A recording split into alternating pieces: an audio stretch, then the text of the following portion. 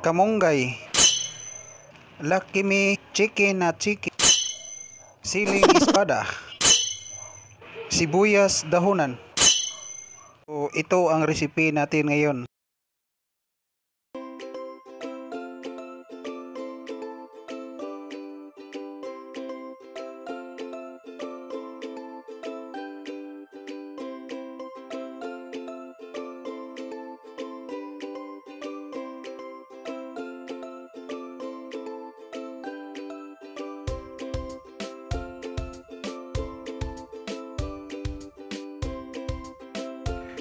So guys, don't forget to follow and subscribe sa aking YouTube channel and sa aking TikTok, papalo guys, and sa aking Facebook, papalo din guys.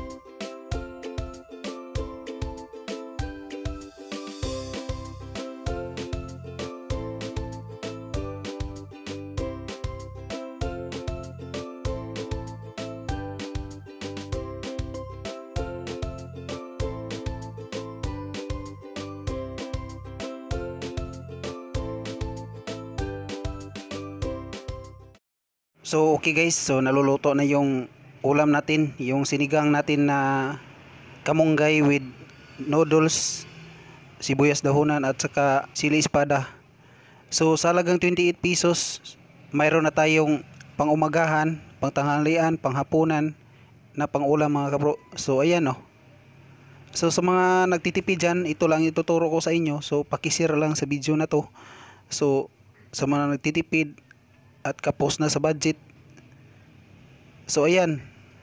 Ito guys, ah, masarap, may vitamins pa. At makabuti pa sa lawa, panglawas ninyo mga bro. So So ayan guys. So ito na ang linuluto natin guys. Tikman natin yung linuluto natin guys. Ang sarap guys.